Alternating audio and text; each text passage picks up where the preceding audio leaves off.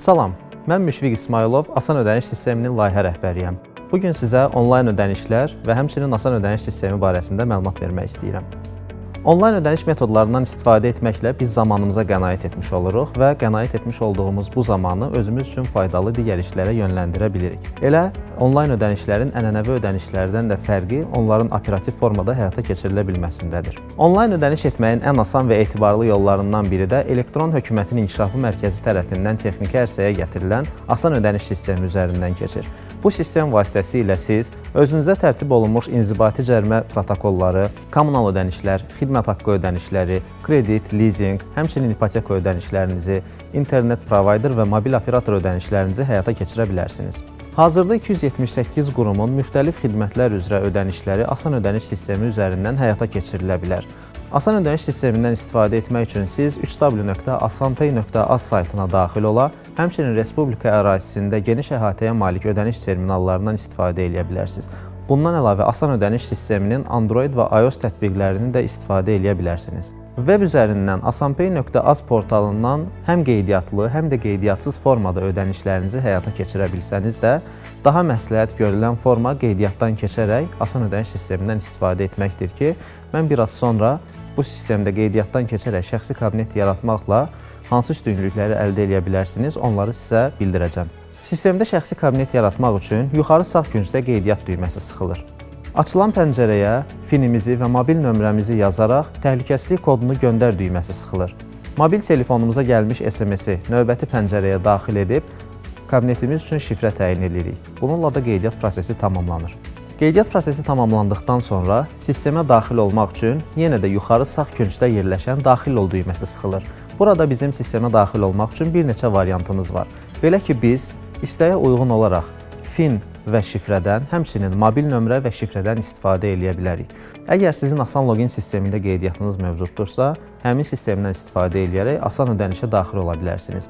Bunun üçün identifikasiya nömrəsi, asan imza və elektron imzadan istifadə olunur.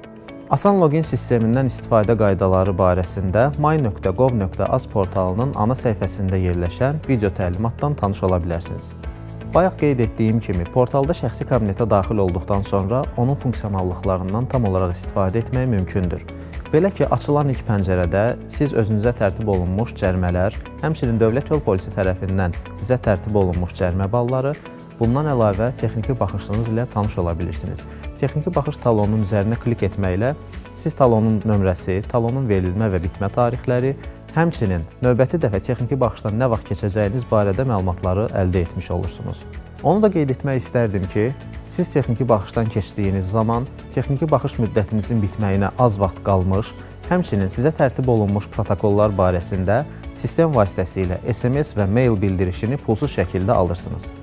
Həmçinin yuxarıda yerləşən menyuda da sistemin bir sıra funksionallıqlarından yararlanmaq mümkündür. Birbaşa ödənişlər bölməsinə keçid etməklə biz həmin kateqoriyada olan müxtəlif növ ödənişləri həyata keçirə bilərik.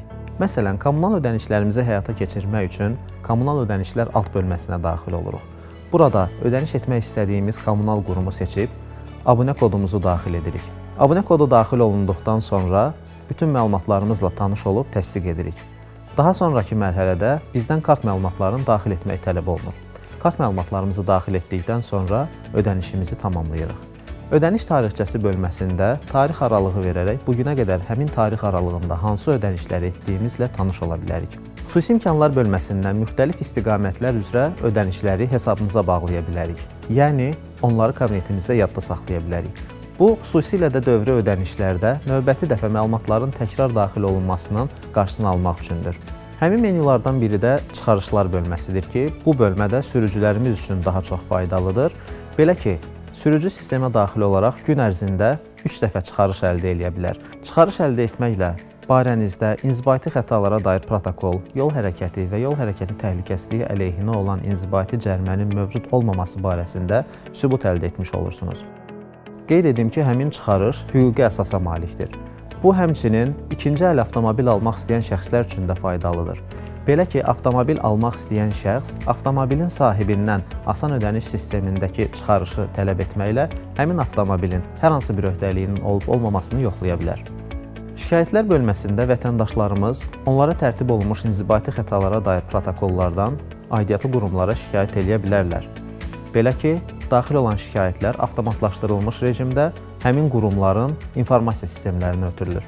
Əlaqə bölməsindən asan ödəniş sistemi barəsində təklif və şikayətlərinizi göndərə bilərsiniz. Bundan əlavə, yuxarı sağ küncdə adınız və soyadınız qeyd olunmuş hissəyə klikləməklə tənzimləmələr bölməsinə daxil oluruq. Bu bölmədə biz şəxsi məlumatlarımızı yeniləyə və həmçinin şifrəmizi dəyişə bilərik. Sistemin üstünlüklərindən biri də şəxsi kabinetdə mövcud olmayan protokola görə şəxsin məsuliyyət daşımamasıdır. Qeyd edim ki, Play Market və App Store-dan asan ödəniş sisteminin mobil tətbiqini Android və iOS tipli smartfonlarınıza yükləməklə sadalanan bütün funksionallıqlardan istifadə etmiş olursunuz. Sistemdə hal-hazırda şəxsi kabinetə sahib vətəndaşların sayı 417 mindən artıqdır və onlar aktiv şəkildə sistemdən istifadə edirlər. Vətəndaşların rahatlığı üçün bütün ödənişlər kateqoriyalara bölünmüşdür. Bu kateqoriyalar inzibati cərimə ödənişləri, rüsum, vergi və gömrük ödənişləri, kommunal və rabitə ödənişləri, məhkəmə ödənişləri, təhsil ödənişləri, kredit və lizinq ödənişləri, sığorta ödənişləri və digər xidmət ödənişlərindən ibarətdir. Nəzərinizə çatdırım ki, 2020-ci ildə respublikamızın ərazisində elan olunmuş xüsusi karantin rejimi asan ödəniş sisteminin fəaliyyətində demək olar ki, heç bir dayanmalara yol açmamışdır. Bu müddət ərzində əməkdaşlarımız operativ formada çalışaraq sistemə koronavirusla mübarizəyə dəstək fondunun ödənişlərini, internet və TV provayderlərinin ödənişlərini, mobil operator ödənişlərini inteqrasiya etmişlər. Son olaraq sistemə Silahlı Qüvvələrə Yardım Fondunun ödənişləri inteqrasiya olunmuşdur. Siz bütün bu ödənişləri asan ödəniş sisteminə daxil olmaqla həyata keçirə bilərsiniz. Asan ödəniş, ödəniş etməyin ən asan yolu.